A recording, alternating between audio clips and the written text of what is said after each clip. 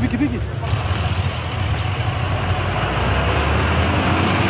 Kuna gari ambayo ilikuwa imeleta mzigo ya mawe aina ya granite kutoka industrial area ikiletea mwenyewe hapa Ruiru.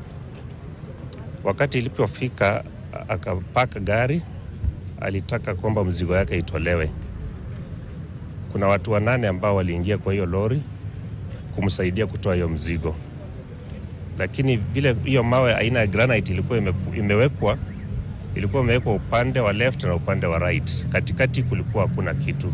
Hawa watu walipoingia katikati, kutoa moja ilipata kuwafunika, waine waliruka kwa gari wakaenda chini, wa- waine waka, wale walibaki kwa gari, watatu walifunikwa na hiyo mawe, na kwa bahati mbaya walipoteza uhai wao.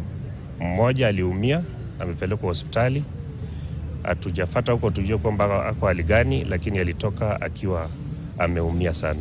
tukijua kulikuwa sauti hata kutoa sauti ana wenyewe kutoa nduru juu waliwafuniki- walifunikiwa hivyo akazima hivyo hivyo. Sasa tukang'ang'ana hali yetu, tukashindwa tutainua hizo mawe. Kama imekosa balance, njua sasa mawe kama upande moja kitoka uzito, njua ni uzito. Sasa uzito kwa upande moja, nasema ile ni sarudi. Sasa hiyo gari ni kama balancing ndio inaleta hiyo shida. ile road trailer unaona ilikuwa na deliver mzigo hapo wa granite, alafu watu wakati walikuwa natole, na, wato, na, na watoa wakazidiwa na yule mzigo, alafu sasa ikawarali